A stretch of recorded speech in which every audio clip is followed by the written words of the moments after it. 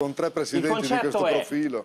si scontrassero perché è evidente che c'è stato un cortocircuito, perché io Guardala. sono testimone oculare del fatto che Conte si fosse messo d'accordo con Letta e con Salvini e vole- voleva anche la Meloni, poi può piacere o non piacere la Belloni.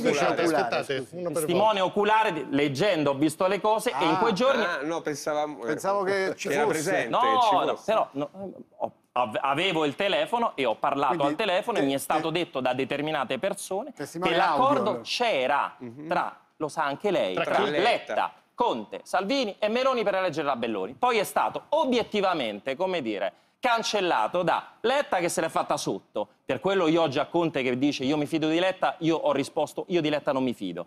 Da eh, Di Maio che si è sentito con Guerini e con quella parte che voleva eh, bocciare la Belloni. Perché? Perché hanno provato a riproseguire comunque sulla, sulla strada vediamo, Salvini e Conte sulla Belloni. Aspetta, aspetta, prego.